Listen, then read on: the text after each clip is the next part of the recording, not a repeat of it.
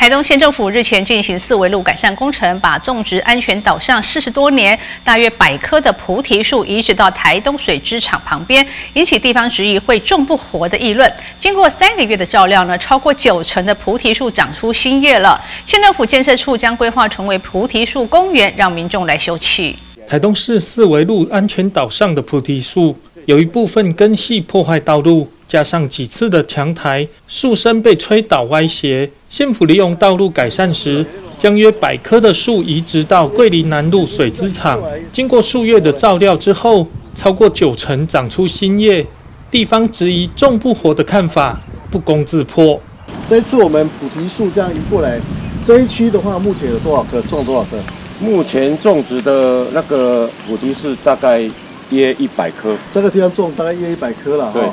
啊，目前的话还没有，还没有这个发芽的或怎么样的，看起来可能还要段时间的。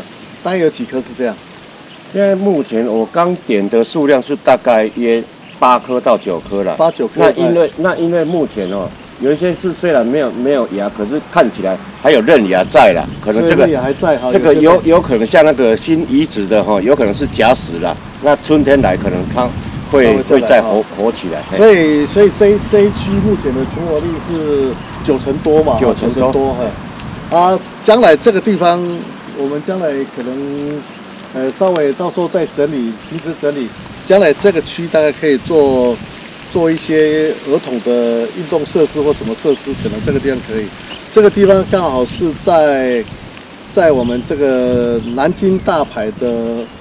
的的的南侧嘛哈，刚好刚好这一区跟那个呃污水资厂的其他的土地是隔开的嘛，刚好是在南京大排的另一侧嘛。啊这一区的话，虽然土地面积不到一公顷，但是它的使用率，将来假如说做重处理的话，这个地方应该是蛮好的菩提公园嘛哈。对，啊菩提树菩提公园旁边有一些儿童的相关的运动设施或者游憩设施，这个大概我们都可以考虑了。